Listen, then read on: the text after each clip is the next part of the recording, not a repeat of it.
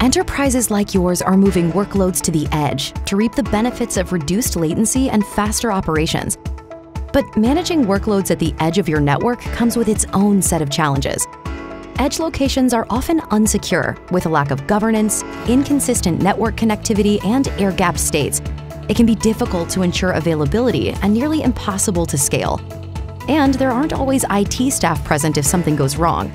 Introducing Project Keswick from VMware, a highly optimized integration of Kubernetes with ESXi that delivers a Kubernetes native hypervisor specifically designed for edge deployments. Secure, performant, and deterministic, Project Keswick enables control plane isolation from workers and app isolation for workloads.